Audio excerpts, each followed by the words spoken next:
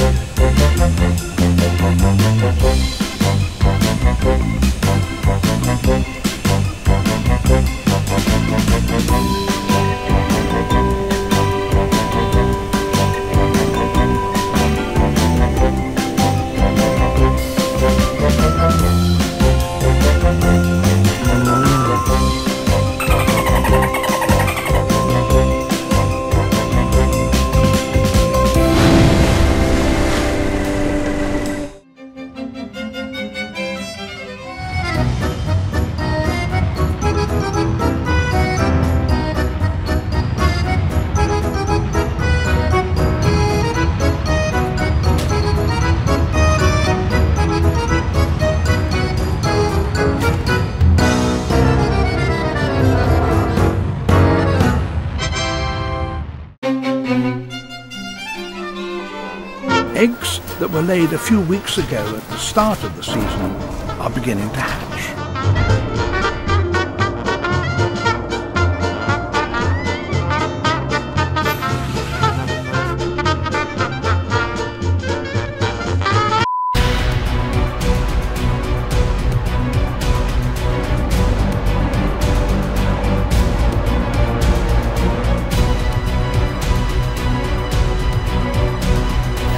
Now, in the light of day, the young are extremely vulnerable. They must get to the sea as soon as possible.